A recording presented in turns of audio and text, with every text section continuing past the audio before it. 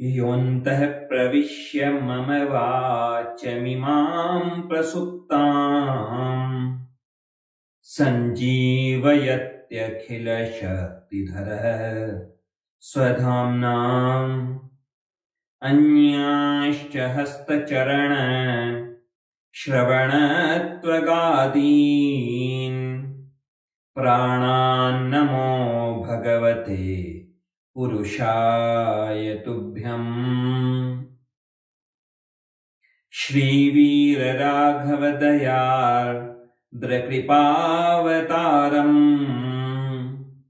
श्रीजानकीश पदपद्मपरागभृङ्गम् श्री श्रीधरार्य चरणाम्बुजलग्नमौलिम् श्रीदेशिकार्य घनश्यामगुरुम् नमामः। संसार की हालत क्या है? किसी को चैन नहीं है, बिल्कुल चैन नहीं है। सब व्याकुल हो रखे हैं, तड़प रहे हैं। पैसा कम है तो भी तड़प रहे हैं। पैसा ज़्यादा है तो भी तड़प रहे हैं। शरीर से बीमार हैं तो भी तड़प रहे हैं। शरीर से स्वस्थ हैं तो मन से व्याकुल है। कोई खुद के दुख से दुखी है तो कोई दूसरे के सुख से भी दुखी है। राग, द्वेष, छल, कपट, ऐसे उलझे हैं इन सब में। चैन बिल्कुल नहीं लगता होगा आपको दूसरे के बारे में, उसकी बड़े भवन को देखकर, उसकी बड़ी बिल्डिंग को देखकर कि वह सुखी है। पर सुखी कौन है यह तो उसका मन जानता है या भगवान जानते हैं। किसी संत ने कहा इस बारे में, कोई तन दुखी, कोई मन दुखी, कोई धन बिन रहे उदास। कोई शरीर से दुखी है, कोई मन से दुखी है, कोई धन के बिना उदास हो रहा है। तो भी कौन सुखी? कोई तो सुखी होगा, संत ने कहा। थोड़े थोड़े सब दुखी। अरे भाई, कोई तो सुखी होगा कि हाँ, सुखी वही है। सुखी राम के दास, जो संसार की आशाओं के दास नहीं रहे, जिन्होंने संसार की आशाएँ त्याग दी, जो राम जी के दास बन गए, वास्तव में वही सुखी। और कोई सुखी नहीं।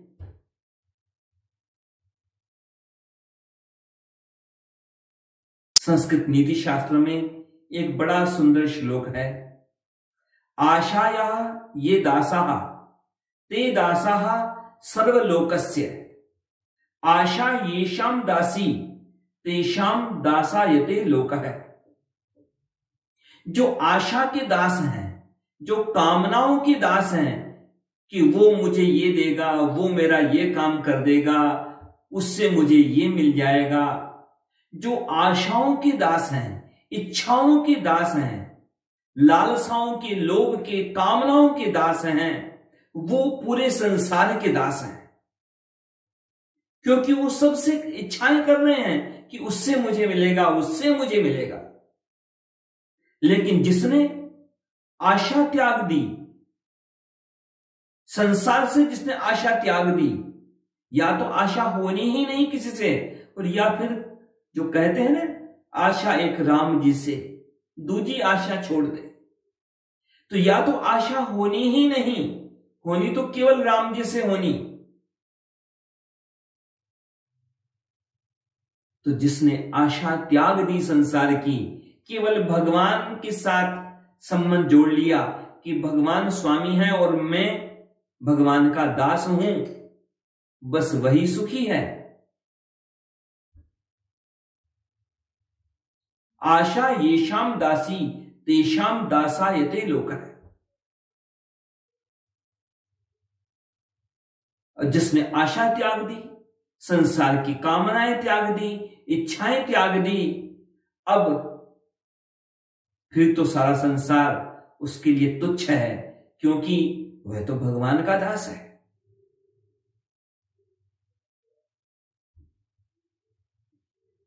सारे संसार का मालिक बनने की बजाय भी भगवान के द्वार का कुत्ता बनना भी बहुत ऊँची बात है।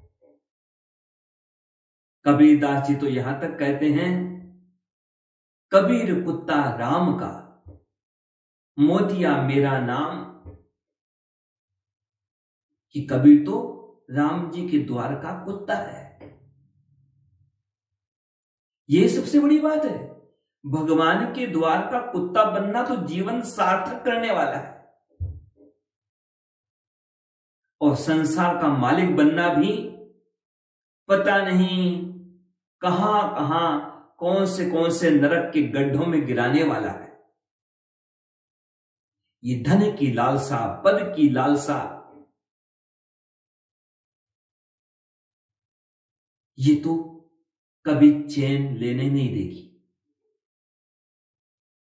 और फिर तो भाई आज का तो यह है आर्थिक युग है।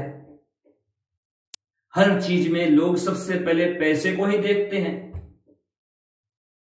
और बाज़ार का तो सिद्धांत है डिमांड एंड सप्लाई जैसी मांग होगी, वैसी आपूर्ति अपने आप कहीं ना कहीं से आ ही जाती है। यदि मांग नहीं होगी तो वह चीज़ें अपने आप बाज़ार से, दुकानों से गायब हो जाती है। यदि आप सच्चे शिष्य बनोगे तो आपको सच्चा गुरु मिलेगा। और यदि आप नकली शिष्य बनोगे, केवल कहने कहने के लिए शिष्य बनोगे तो फिर आपको नकली ही गुरु मिलेगा। नकली के बदले नकली ही मिलता है। शिष्य का मतलब क्या? शिष्य केवल शब्द नहीं है शिष्य का मतलब जो गुरु का अनुशासन माने। भगवान ने जो अनुशासन दिए हैं, स्वयं अपने श्रीमुख से श्रीमद भगवत गीता में भगवान ने कहा, शास्त्र जो हैं, उनके द्वारा भगवान ने अनुशासन बताए। उनका अनुशासन माने व्यक्ति, तब वह शिष्य है। यदि भगवान का अनुशासन नहीं मानता गुरु का अनुशासन नहीं मानता तो वह शिष्य असली कैसे? और खुद असली नहीं, शिष्य शिष्य असली नहीं तो फिर गुरु भी असली कैसे मिलेगा? आज तक जितने भी संतों के नाम आपको मालूम है, उनमें से किसी ने भी सांसारिक चीज़ों की प्राप्ति करवाने का दावा बिल्कुल नहीं किया। चाहे कबीरदास जी की बात कर लो, चाहे तुलसीदास जी की बात कर लो, चाहे सूरदास जी की बात कर लो, ये तो उनका नाम ले रहा हूँ, जिनके नामों को आप जानते हैं। क्या करूँ? अपने संप्रदाय के आचार्यों के नाम तो आप जानते ही नहीं है। रामानुज स्वामी जी के जीवन की घटनाओं को कहाँ जानते हैं? वेदांत देशिक स्वामी जी के बारे में क्या जानते हैं? समय नहीं है। कोई नहीं कहता कि उसे रुपये गिनने के लिए समय नहीं है। कोई नहीं कहता कि बैंक बैलेंस संभालने के लिए उसके पास समय नहीं है। कोई नहीं कहता कि ग्राहकों के लिए उसके पास समय नहीं है। लेकिन क्या विडंबना है? भगवान के लिए समय नहीं है। आचार्यों के लिए समय नहीं है। तो इन संतों की बात कर लूँ, जो प्रसिद्ध हैं संत, चाहे कबीरदास जी की बात करें, चाहे सूरदास जी की बात करें, चाहे गोस्वामी तुलसीदास जी की बात करें, इनमें से किसी ने भी कभी भी नहीं कहा कि उनके अनुसार चलोगे तो उन्हें धन संपत्ति मिल जाए।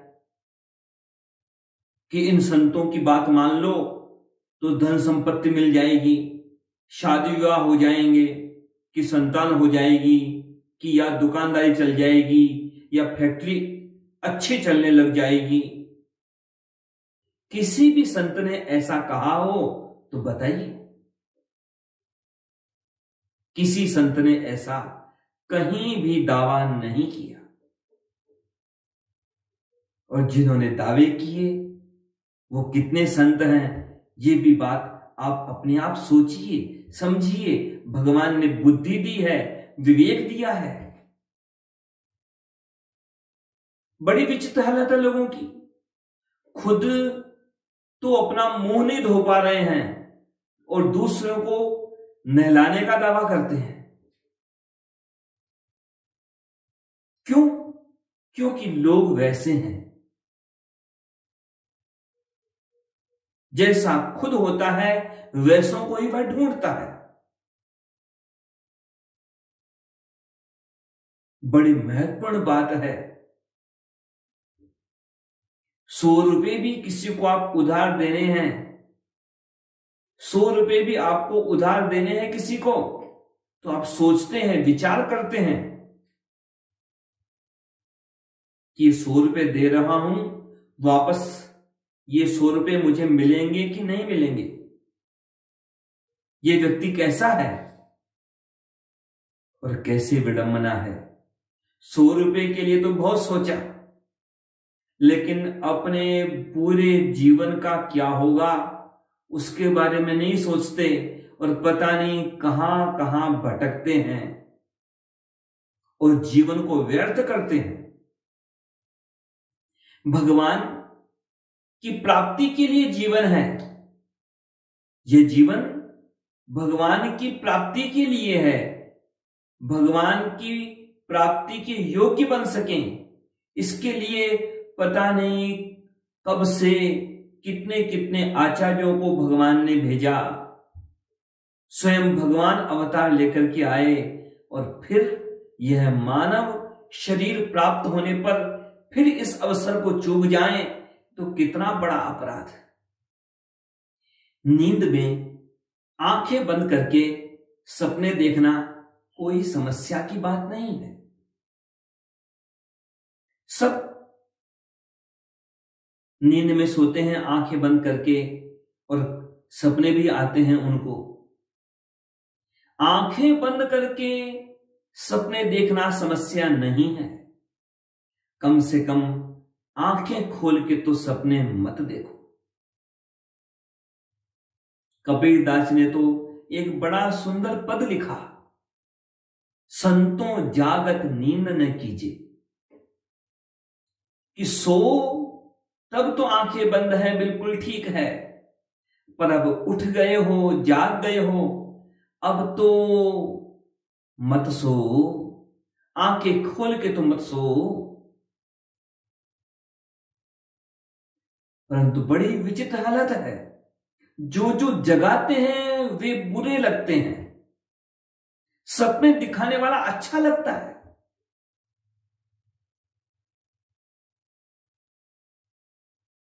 और ये सपने सब लोभ के पीछे, पैसे के पीछे सपने देखते हैं और सपने दिखाते हैं।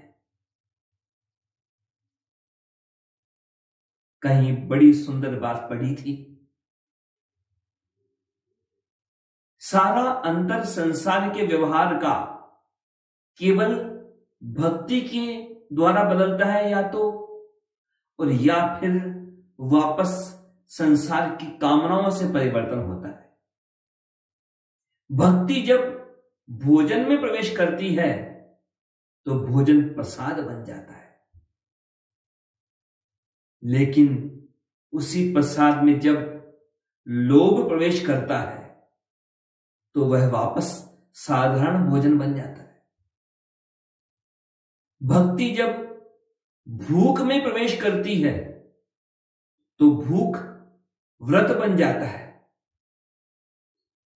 लेकिन उसी व्रत में जब लोभ घुस जाता है तो वह व्रत भी यातना बन जाता है। भक्ति जब पानी में प्रवेश करती है तो वह पानी चरणामृत बन जाता है। लेकिन उसी चरणामृत में जब कामनाएँ घुस जाती हैं तो वह चरणामृत साधारण पानी में बदल जाता है। भक्ति जब यात्रा में प्रवेश करती है, वह यात्रा तीर्थ यात्रा बन जाती है। लेकिन उस तीर्थ यात्रा में जब पैसा घुस जाता है, लोभ घुस जाता है तो वह यात्रा में बदल जाती है। भक्ति जब संगीत में प्रवेश करती है तो वह संगीत भजन और कीर्तन बन जाता है। लेकिन उस भजन कीर्तन में जब नाम की भूख और दाम की भूख घुस जाती है तो वही संगीत फिल्मी गानों में बदल जाता है। भक्ति जब घर में प्रवेश करती है तो घर ठाकुर बाड़ी में बदल जाता है। लेकिन जब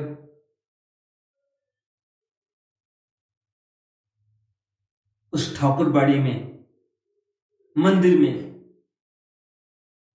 लोभ प्रवेश करता है तो वह धंधा बन जाता है। भक्ति जब किसी क्रिया में प्रवेश करती है तो वह क्रिया सेवा बन जाती है। लेकिन उसी सेवा में जब लोभ प्रवेश करता है तो वह व्यापार बन जाता है। भक्ति जब मानव में प्रवेश करती है तो वह मानव सामान्य मानव नहीं रहता, वह भक्त बन जाता है। लेकिन उसी भक्त में जब लोभ प्रवेश करता है तो फिर पता नहीं वह मानव कैसा लोभी और कैसा भोगी बन जाता है। आज गुरु पूर्णिमा का पावन अवसर जीवन में पूर्णता कब आती है? जब सच्चा गुरु जीवन में हो और वह गुरु हमें परमात्मा के साथ हमारे संबंध को जोड़ देवे, जब वह गुरु हमें हमारे स्वरूप का ज्ञान दे देवे, जब परमात्मा का ज्ञान दे देवे, जब भगवान के साथ हमारे संबंध का ज्ञान हमें दे देवे, तब जीवन में पूर्णता आती है। बाकी जीवन में किसी चीज़ में किसी को भी कभी भी पूर्णता न तो मिली और न मिल सकती। सोचते हैं लोग, केवल लक्ष्य होते हैं लोगों के कि सब कुछ मिल जाए। लेकिन एक चीज़ में भी कोई भी व्यक्ति एक चीज़ में भी, एक विषय में भी पूरा नहीं हो सकता। एक में भी पूरा नहीं हो सकता। तो सारी चीज़ों में पूर्ण कहाँ से होगा?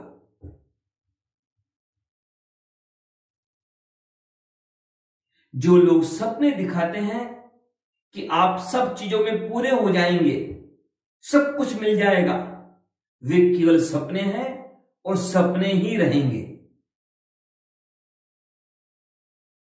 कि सब अच्छा हो जाएगा, आपको सब मिल जाएगा।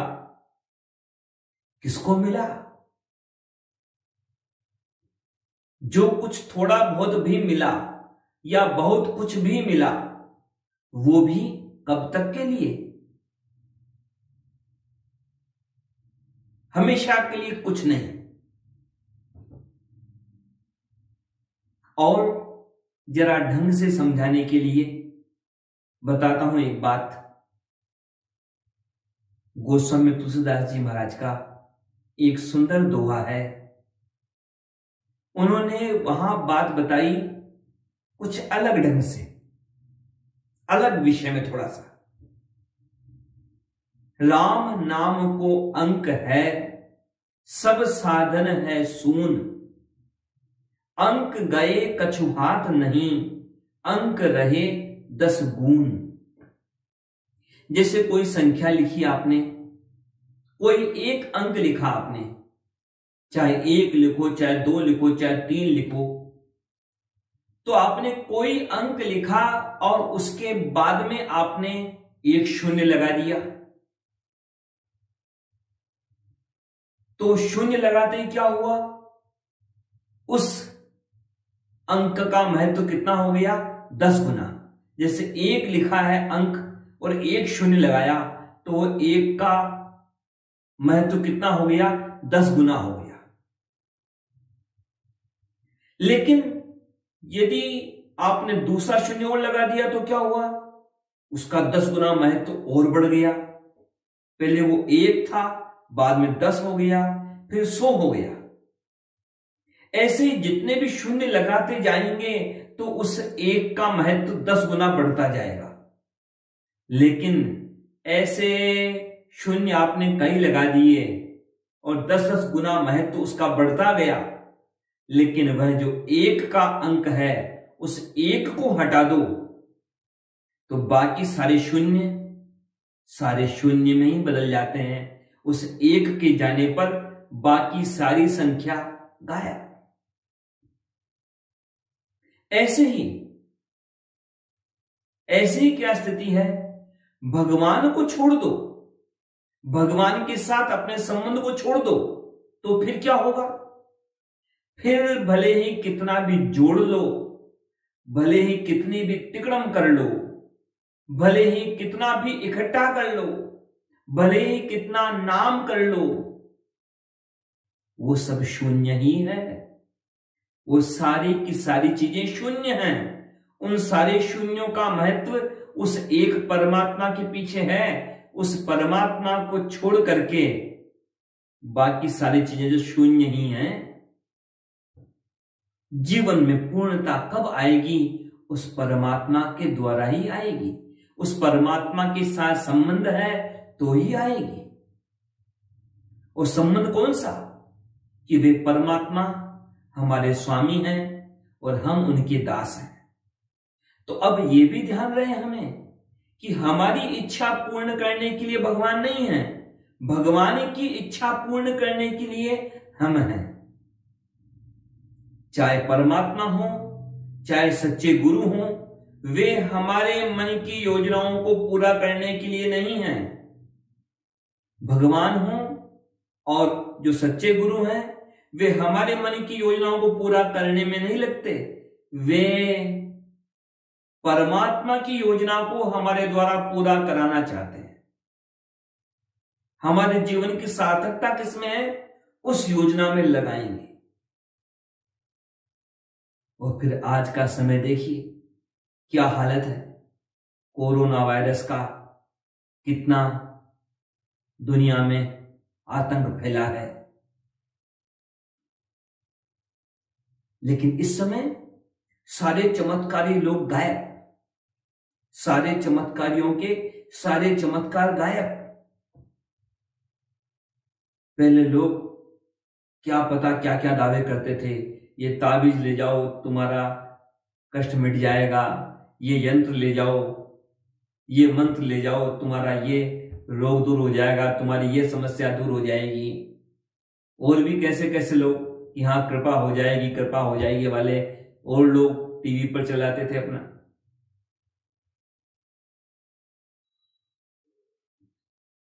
कितने लोग भारत में भी, हज़ारों मिशनरी लोग घूमते रहते थे भारत में। पैसा दे देकर लोगों को कन्वर्ट करने के लिए या चमत्कार की बातें बोलकर। लेकिन दुनिया में हज़ारों पादरी मर गए। किसी पादरी का कोई चमत्कार काम नहीं आया। सारे चमत्कारी गायब। जब ये कोरोना वायरस ठीक हो जाएगा, तब ये सारे चमत्कारी फिर अपने अपने बिलों से निकल के आएँगे। अभी कोई सामने नहीं आएगा।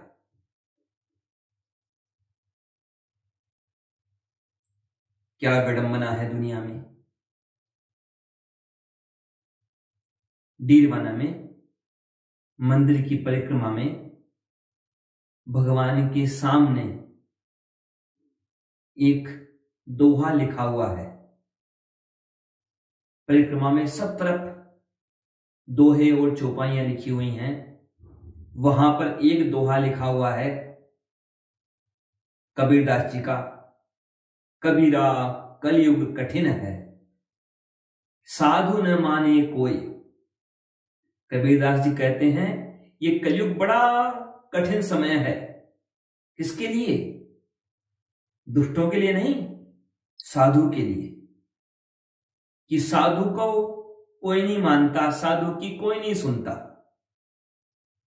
साधु का आदर नहीं है। किसका आदर है? कामी क्रोधी मस्खरा तिन का आदर होए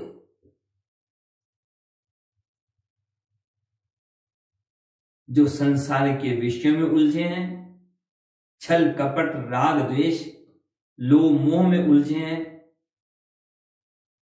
दुनिया को खुश करने के लिए मस्खरे बनने के लिए भी तैयार बैठे हैं, ऐसे लोगों का आदर होता है। बाकी भी देखिए। दुनिया में देखिए। नेता, अभिनेता, हीरो, हीरोइन, उनके फेसबुक को देखो, उनके यूट्यूब को देखो। करोड़ों लोग फॉलोअर होते हैं उनके। लेकिन सच्चे संत को कौन ढूंढता है? कौन चाहता है? राम सुखदास जी महाराज की कौन सी पुस्तक को आपने पढ़ा? डोंगरे जी महाराज की कौन सी पुस्तक को आपने पढ़ा? जिस संप्रदाय के आप हैं, इस संप्रदाय की कौन सी पुस्तक को आपने पढ़ा और समझा? कहेंगे लोग कि क्या करें? समय नहीं है। समय नहीं है। लेकिन जो भी आपके फेवरेट हीरो हीरोइन हैं, उनकी कौन सी फ़िल्म आपने छोड़ दी? बड़ी विचित्र हालत है। सपने दिखाने वाले अच्छे लगते हैं और सपनों से जगाने वाला बुरा लगता है। सपने दिखाने वाले धन के पहाड़ पर बैठे रहते हैं बड़े बड़े पदों पर बैठे रहते हैं।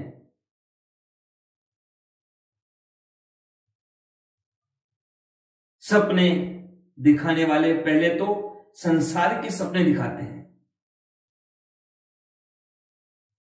तेरी दुकान अच्छी चलेगी, तेरी फैक्ट्री अच्छी चलेगी, तेरा विवाह हो जाएगा, तेरे संतान हो जाएगी, तेरे पोता हो जाएगा इससे आगे के सपने दिखाते हैं। तेरा बड़ा नाम हो जाएगा। फिर दूसरी दुनिया की बातें करते हैं। इतनी भेंट कर, इतना बड़ा भवन बना दे, ऐसा मंदिर बना दे, तेरा बड़ा पुण्य होगा, तुझे स्वर्ग मिल जाएगा।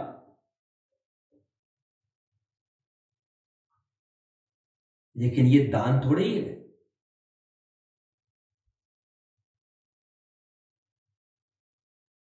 नेता अभिनेता भी सपने दिखाते हैं और ऐसे लोग मंदिर में जाकर भी भगवान को नहीं देखते, सपने ही देखते हैं। जब किसी कामना से दान किया गया, वह दान नहीं है। सात्विक दान तो बिल्कुल नहीं है। श्रीमद भगवत गीता में भगवान श्री कृष्ण ने स्पष्ट कहा, स्वयं अपने श्रीमुख से, दातव्यम इति यदानम दीयते नुपकारिणे, देशे काले च पाते च तब दानम सात्विकम स्मृतम। जिसने पहले कभी हमारा उपकार नहीं किया और जिससे आगे भी हमें कोई लाभ नहीं होने वाला, लेकिन जो पात्र है उस व्यक्ति को दिया गया दान। वह सात्विक दान होता है। जहाँ हम पहले ही मान लें कि ये मेरी वस्तु और मैं दे रहा हूँ, ये दान नहीं है। ये सात्विक दान नहीं है। ये माना जाए कि वस्तु संसार में जितनी वस्तु है, वो सबकी है। यह मानकर के जो दान देगा, अपना अधिकार मान के दान देगा तो वह दान नहीं है। स्वामी राम सूरदास जी महाराज ने श्रीमद भगवद गीता की साधक संजीवनी व्याख्या में स्पष्ट लिखा है।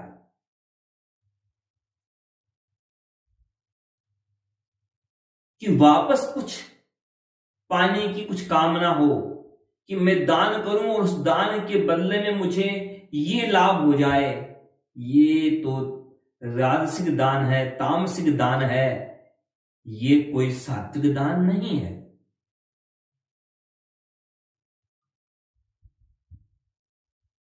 स्वार्थ बुद्धि हो, केवल खुद के लाभ के लिए चाहे यज्ञ करो, चाहे तप करो चाहे दान करो, चाहे पाठ करो,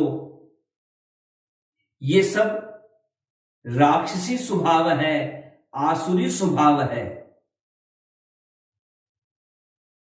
राम सुखदास जी महाराज ने गीता की व्याख्या में स्पष्ट लिखा। श्रीमद् भगवद गीता के अनुसार दूसरों के कल्याण के लिए दूसरों के हित के लिए किया गया कर्म यज्ञ है। और बिना किसी व्यक्तिगत लाभ के, कर्तव्य मान के दिया गया दान, वही सात्विक दान है। और यह भी याद रहे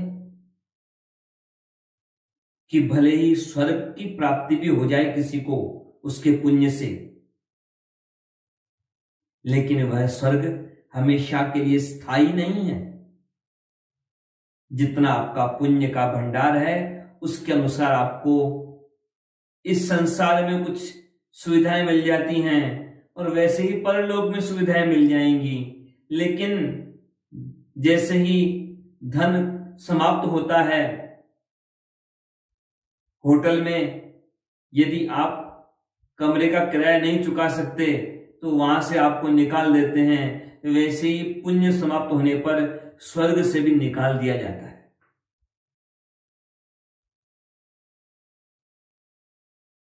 ते तम भुक्तवा स्वर्ग लोकम विशालम, क्षीणे पुण्य मृत्यु लोके विशंति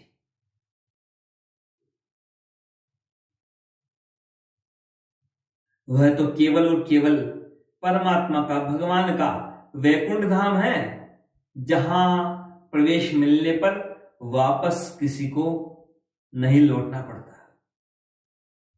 यद गत्वान निवर्तनते तद धाम है परमम में उस परम धाम की प्राप्ति कैसे हो? उन परमात्मा की प्राप्ति कैसे हो? उसके लिए ही तो हमारे वेदांत स्वामी जी ने इस परम पद सोपान की रचना की।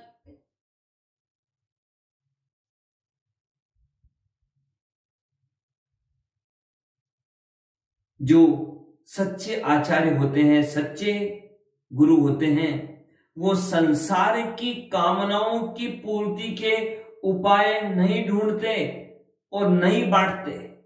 संसार की चीज़ों के उपाय बताते नहीं, घूमते। सच्चे आचार्य, सच्चे गुरु तो भगवान की प्राप्ति का ही उपाय बताते हैं। अब यह बात अलग है कि दुनिया का मामला तो ऐसा है कि वहाँ भगवान को चाहता कौन है? पर दुनिया में कौन क्या चाहे?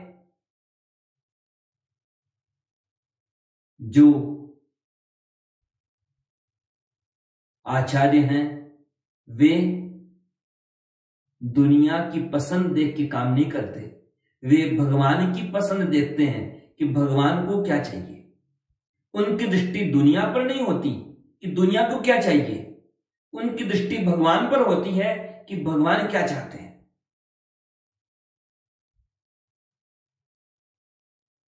श्री वेदांत स्वामी जी ने जो यह रचना की, परम पद सोपान की तो उनकी प्रशंसा करते हुए, स्तुति करते हुए कहा गया व्याजी कृत्य विमुक्ति सौद पदवी, सोपान सदवर्णनम शारीराणव रत्न जात यह प्राची कशत सर्वश। तस्मिन् तिष्ठति वेंकटेश्वर कवौ यम कंचित पुरुषम युपासुतुमये मागा मन स्वस्ति कि जिन वेदांत स्वामी जी ने रामानंद स्वामी जी के समान कार्य करते हुए इस परम पद सोपान के बहाने से वेदांत रूपी महासागर के सारे दिव्य रत्नों को यहाँ प्रकाशित किया उन वेदांत स्वामी जी को। बारंबार प्रणाम है। उन वेदांत स्वामी जी को छोड़ के किसी और में अपने मन को मत लगाओ। इसी में तुम्हारा कल्याण है। अपने मन को समझाते हुए प्रशंसा की गई इस ग्रंथ की भी और वेदांत स्वामी जी की भी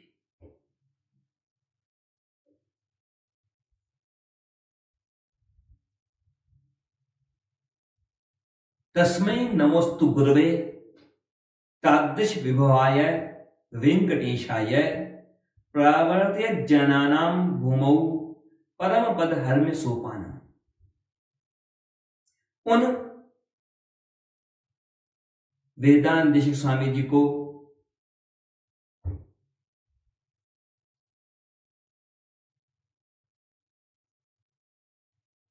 श्री वेदांत स्वामी जी के लिए बारंबार प्रणाम है, जिन्होंने परम पद रूपी प्रासाद पर चढ़ने के लिए सोपान का निर्माण करके सबके लिए यह मार्ग सुलभ किया।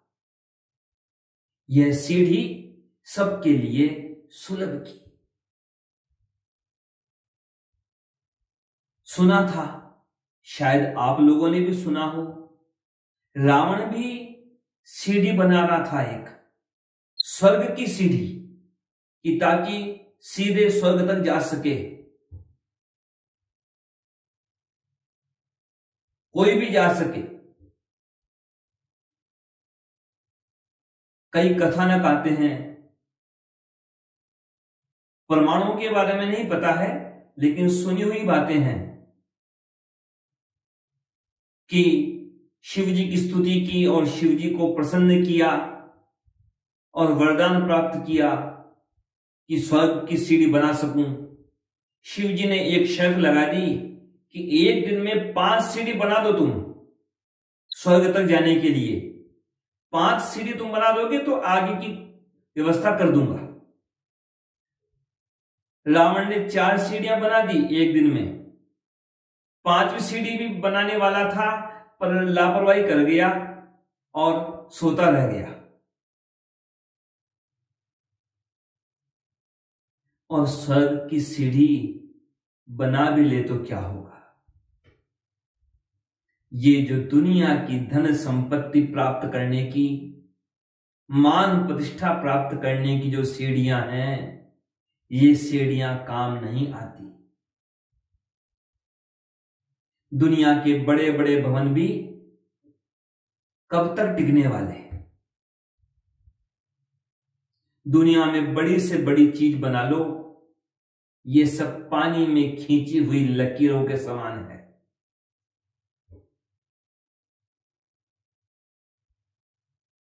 जो अंदर से जितना ज़्यादा खाली होता है, वह बाहर की चीज़ें उतनी ज़्यादा इकट्ठा करना चाहता है।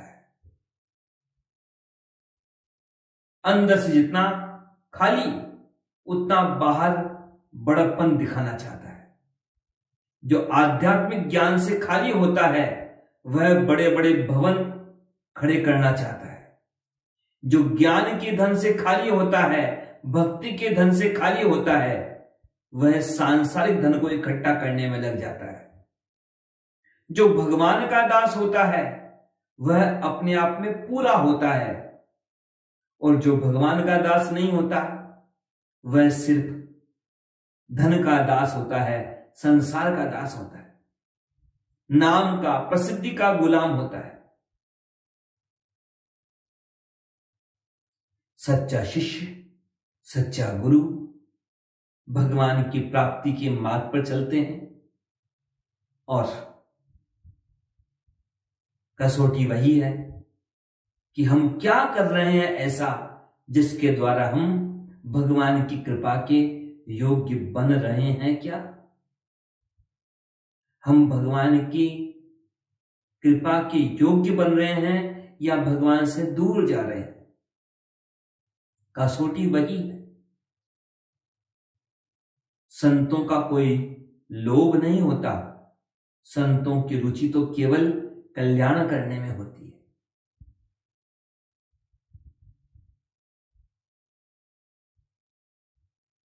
ब्रह्मानंद नाम के एक बड़े अच्छे संत कवि हुए। उन्होंने बड़ा सुंदर एक पद लिखा, संत परम हितकारी जगत में। संत परम हितकारी कि संत से बड़ा हितकारी कोई नहीं। दुनिया में सब स्वार्थी हैं, सब मतलब से मतलब रखते हैं। बिना स्वार्थ के कुछ करता है तो या तो परमात्मा कृपा करते हैं, या संत करते हैं। प्रभु पद प्रकट करावे प्रीति, भरम मिटावे भारी। सच्चा संत भगवान के चरणों में प्रेम उत्पन्न करते हैं। मन के भ्रम को मिटाते हैं। परम कृपालु सकल जीवन पर। हर प्राणी पर कृपा करते हैं। ये नहीं देखते कि किस पर क्या करने से क्या लाभ होगा। वो सब पर दया करते हैं, सब पर कृपा करते हैं। हरि सम सकल दुख हारी भगवान की तरह सबके दुखों को दूर करने का प्रयास करते हैं। त्रिगुणातीत, फिरत तन त्यागी। रीत जगत से न्यारी।